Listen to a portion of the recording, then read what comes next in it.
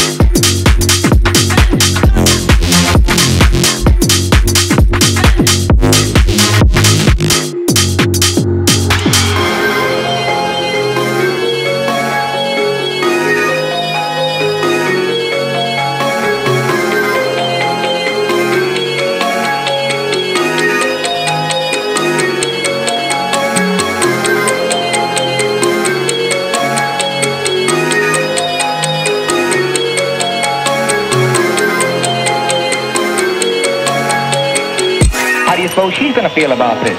She's in love with you, you know.